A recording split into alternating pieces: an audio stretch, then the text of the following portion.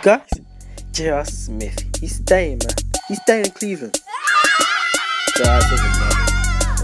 He's staying there. And I think this is a smart move, a good decision for J.R. Smith as well.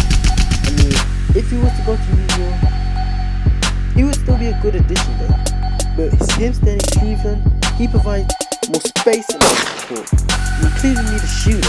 They need someone who can shoot, and he was going to be Golden State, San Antonio, perfect threat. When he's on fire, this guy's unstoppable. Just stay in Cleveland. I mean, I don't think they had any chance to leave Golden State. I mean, you they can lock down two, they can stop. Maybe you Kevin Durant. When you look for Klay Thompson, you can drop maybe 40 on if you are ready to match up against him. Yeah. You have no chance. So basically, Gives Cleveland hope that they can beat Golden State Warriors, San Antonio Spurs for next season. You know, I know it's bit crazy staying. I'm a Houston fan, but but I like the boy Smith and I enjoy watching him play.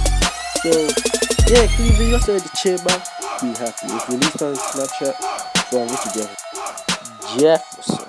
Me out, boy.